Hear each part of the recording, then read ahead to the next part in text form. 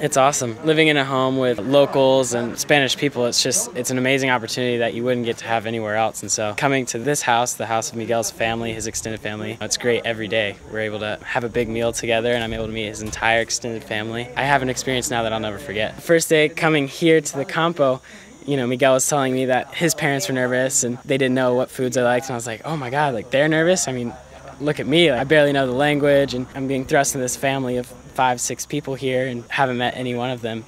But over the time, you know, I've kind of gotten used to everybody's different accent here. For example, the mom doesn't really pronounce her S's. I've kind of overcome that and learned to understand her and Miguel and really everybody here. They say that learning Spanish in Andalusia, there's almost kind of like a draw, almost like in the south of the U.S. And so learning Spanish here, they say, will greatly benefit you anywhere else in the world that speaks Spanish. And just by thinking that, you know, I feel kind of like I'm on top of a mountain when I'm able to hold a conversation with Miguel's father about him having a job for 41 years or, you know, in the car yesterday, Miguel And I were talking about the stock market and the business side of America and job crisis and everything.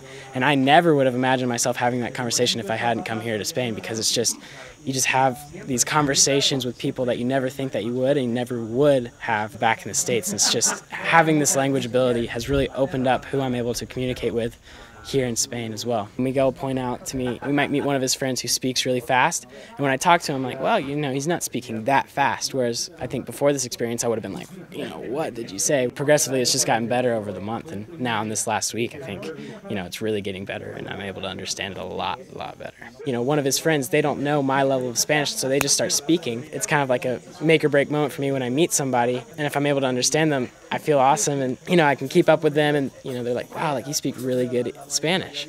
I'm like, well, thanks, you know. You know, I'm treated here almost as like a son, really. I was talking to Miguel yesterday when we were at the beach, and he said that he wants me to be able to come back in further years. He said, you know, Reed, you have a house here in Ronda. You have a home here in Fuengirola. You are part of our family now. You've lived with us for a month, and I feel so special when they say something like that. You know, I'll remember this for the rest of my life, and remember coming here every day for lunch, speaking with the mom, swimming with the father, living with Miguel.